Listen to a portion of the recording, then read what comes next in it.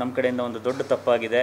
ನಾವು ಕನ್ನಡಿಗರನ್ನ ನೋಯಿಸಬೇಕು, ಅವ್ರ ಬಗ್ಗೆ ಕೆಟ್ಟದಾಗಿ ಹೇಳಬೇಕು ಅಂತ ಖಂಡಿತ, ಈ ಮಾತನ್ನು ಆಡಿರಲಿಲ್ಲ. ಆದರೆ ಅದು ಕನ್ನಡಿಗರಿಗೆ ಬೇಜಾರಾಗಿದ್ದು ನಮಗೆ ತುಂಬ ನೋವು ತಂದಿದೆ. ಯಾಕಂದರೆ ನಾವು ಕೊಟ್ಟಿರೋ ಪ್ರತಿಯೊಂದು ಇಂಟರ್ವ್ಯೂನಲ್ಲೂ ಪ್ರತಿಯೊಂದು ಸಂದರ್ಶನದಲ್ಲೂ ನಾವು ಯಾವತ್ತೂ ಹೇಳಿದ್ದೀವಿ ರಂಗಿತ ರಂಗಿತರಂಗ ಅನ್ನೋ ಸಿನಿಮಾ ಏನಿದೆ, ಅದು ಗೆದ್ದಿದ್ದು ನಮ್ಮ ವೀಕ್ಷಕರಿಂದ ಹಾಗೂ ನಮ್ಮ ಮಾಧ್ಯಮದ ಸಪೋರ್ಟಿಂದ. ಇದನ್ನೆಲ್ಲ ಕಡೆ ಹೇಳಿದ್ದೀವಿ ಪ್ರತಿಯೊಂದು ಇಂಟರ್ವ್ಯೂನಲ್ಲೂ ಹೇಳಿದ್ದೀವಿ ಇವಾಗ ಯಾವುದೇ ಯೂಟ್ಯೂಬಲ್ಲಿ ಹುಡುಕಿದ್ರೂ ನಮ್ಮ ಬೇರೆ ಇಂಟರ್ವ್ಯೂಸ್ನ ಅಲ್ಲೆಲ್ಲ ಕಡೆ ಹೇಳಿದ್ದೀವಿ ಸೊ ನಮ್ಮ ವೀಕ್ಷಕರೇನಿದ್ದಾರೆ ಅವ್ರ ಬಗ್ಗೆ ನಮಗೆ ತುಂಬ ಅಭಿಮಾನ ಇದೆ. ಅವ್ರಿಗೆ ನೋವಾಗಿರೋದು, ಎಲ್ಲದಕ್ಕಿಂತ ನಮಗೆ ನೋವು ತಂದಿರೋದು ಅವ್ರಿಗೆ ನೋವಾಗಿರೋದು.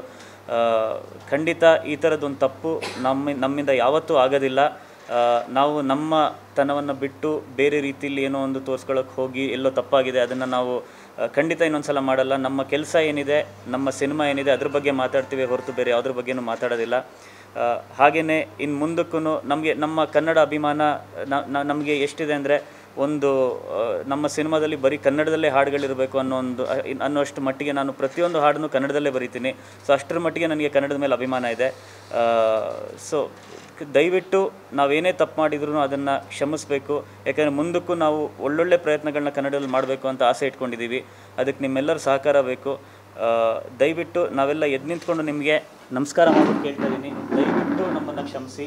ನಮ್ಮಿಂದ ಏನೇ ತಪ್ಪಾಗಿದ್ರು ಅದನ್ನು ಮನಸ್ಸಿಗೆ ತಗೋಬೇಡಿ.